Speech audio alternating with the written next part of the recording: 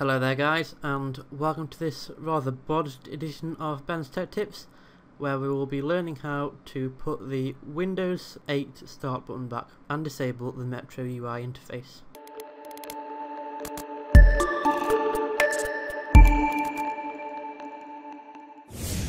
Okay so once we've logged into the Windows 8 start menu we can then decide that we don't like it if you, if you that way. Um, okay, and basically what you can do is you can get rid of it and make it more like Windows 7.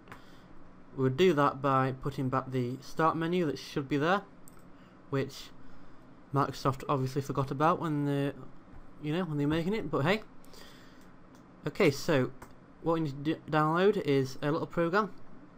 Okay, so first thing you need to do is to go to google.co.uk uh, and type in Vistart for Windows 8 and press enter.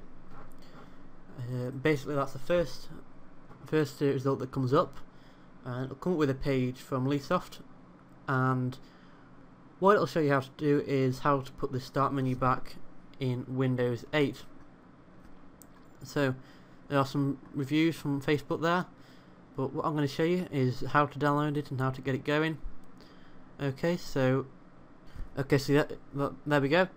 Uh, first thing to do is to click download, and you'll notice that it will start downloading by itself. And to click run.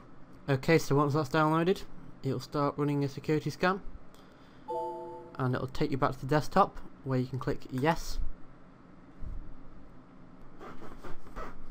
Okay, and we should see a installation wizard pop up and basically you just need to go through this uh, click accept and it will start installing.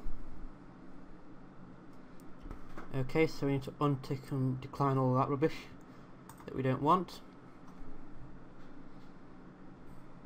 It'll say thank you for installing it. Okay so we can close that now and it'll start loading up. And you'll then notice that the Windows Start button then appears. So um, we click on, we still have the option of going to the Windows 8 Start menu if we want, and we can also click on the Windows 7 version. Okay, so thanks for checking out my video on how to get the Windows Start button back.